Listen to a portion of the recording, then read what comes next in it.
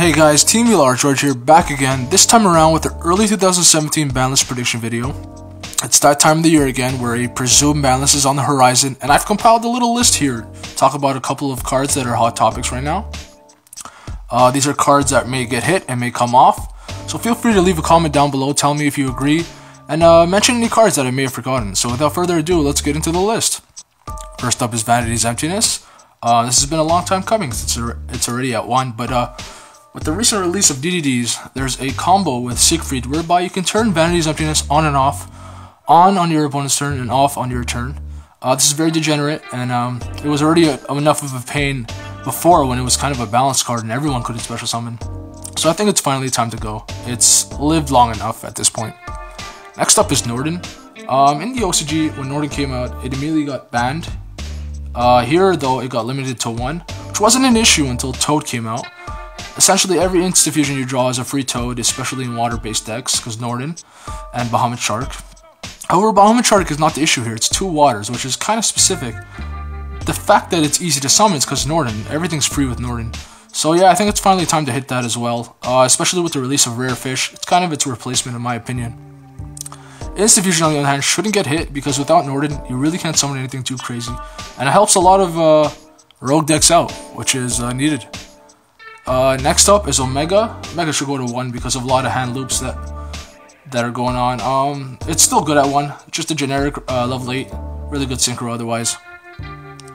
Uh, finally, uh, another one is uh, Strike. This has been a long time coming as well. Card's been out for a year since the release of BOSH. Uh, most good Solemns are limited to one.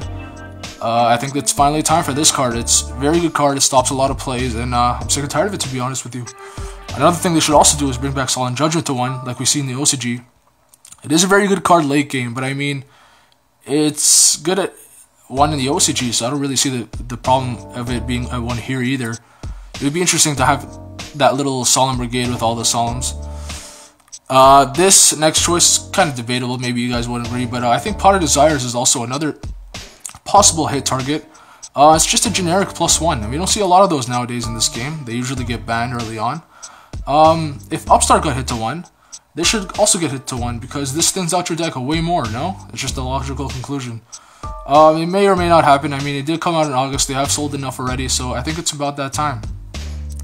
Now I also have two theories with this ban list. They can either A, release the ban list before Zoodiacs, whereby they nuke the meta so they could sell more Zoodiacs, or B, gauge the meta after Zoodiacs come out, and kind of indirectly hit it, as a result having a non-T0 uh, meta. So um, I'll go with the first scenario first, so where they nuke it.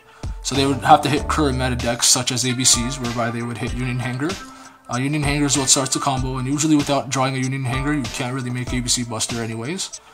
And then for Metalfoes, maybe hit Mithrilium, because that's what causes all these Metalfoes fusion loops. Um, although that probably won't happen, because it's a fairly recent card that came out. Um, and then for the Frog decks, I guess actually hitting Toadally Awesome to 1, like they did in the OCG. However, that also probably won't ha happen, because uh, it came out recently as well.